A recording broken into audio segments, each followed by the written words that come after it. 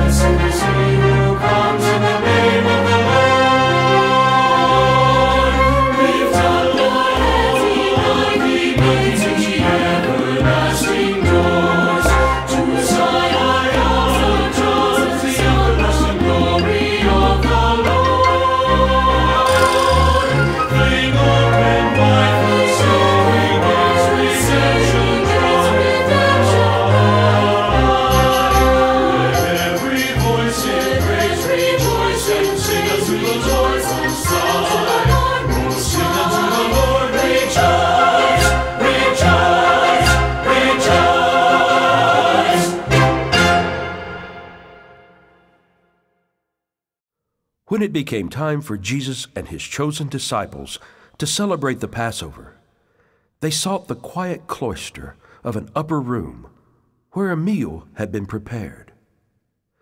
As they sat at the table, Jesus comforted them and announced to them a new covenant. This covenant of grace would be a sanctuary for all people. As the children of Israel took shelter from death and pestilence in the days of Moses, so would the Lamb of God provide a safe haven against spiritual death. Jesus would become God's sacrifice for the sins of all. For it is written, Behold, the Lamb of God, who takes away the sins of the world.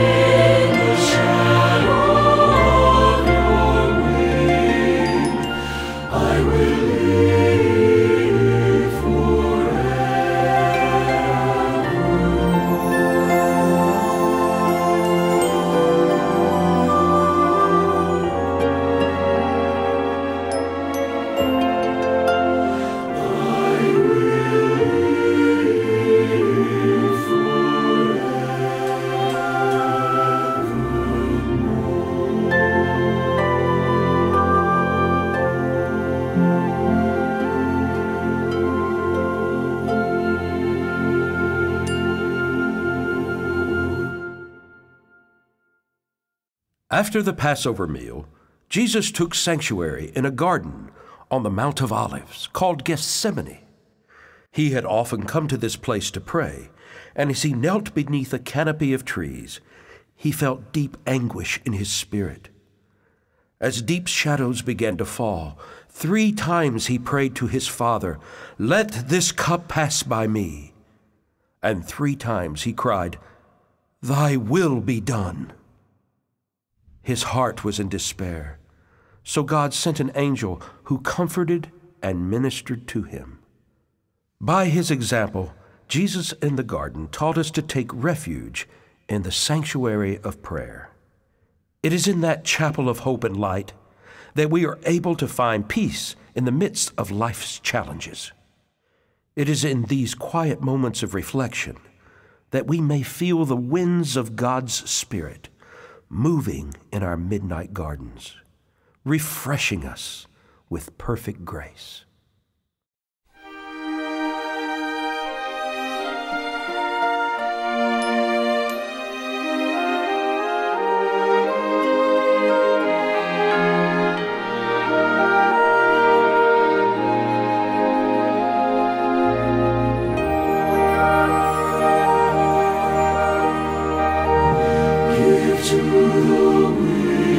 Christian.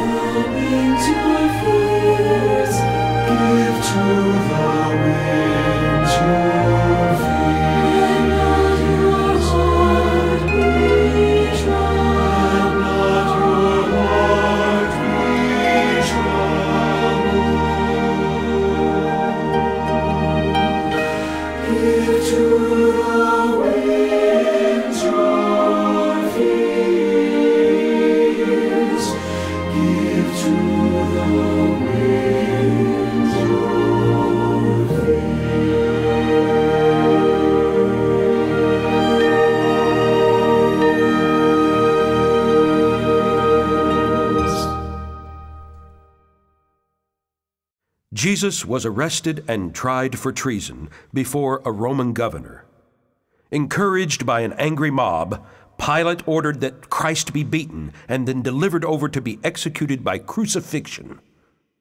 He was taken to a mountaintop where he was hung on a cross. This fulfilled the scripture that promised, If I be lifted up, I will draw people everywhere to my side. As the skies darkened, Jesus whispered, It is finished, and took upon his wounded heart the sins of the world. His cross has become a hiding place for a desperate world. It is a tower of strength to the weak and a sanctuary of grace for the lost. In the sheltering embrace of his perfect love, the seeker at last finds home.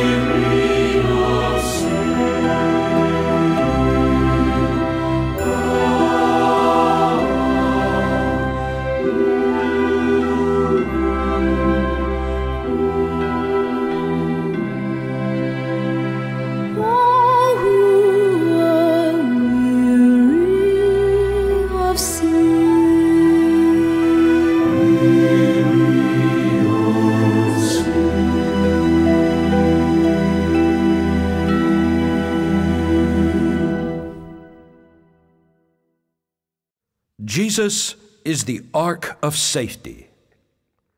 Jesus is my rock, a mighty fortress, my deliverer. Jesus is a tower of strength.